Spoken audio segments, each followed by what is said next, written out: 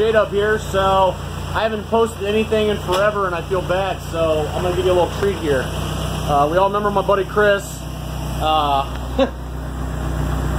he, uh, he got himself a new little toy. Got rid of the Eclipse, traded it up for, what do we got here?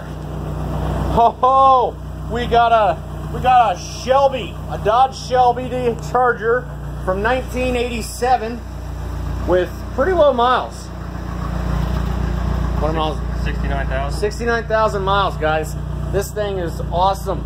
He just got the motor reworking. So for those who don't know anything about these cars, it's essentially a two-door Dodge Omni that uh, Carroll Shelby said, give me, give me, give me. And he made badass by putting a uh, turbo motor in there. It's a T1 2.2 turbo. This The difference between this and you're going to see like in the Daytonas is going to be, this is a T1, so it doesn't have an intercooler. Not saying you can't put one in it, but it didn't come from the factory with one. So, just a nice little, uh, nice little uh, video here real quick of uh, that. Look at that interior, guys. This, this shit is fucking clean as hell. Look at that. Five-speed manual. Hey, heater works good.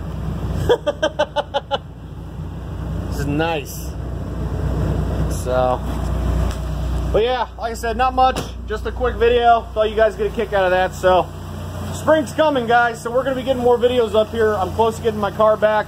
My buddy Ryan, you know him from In Between Two Beards.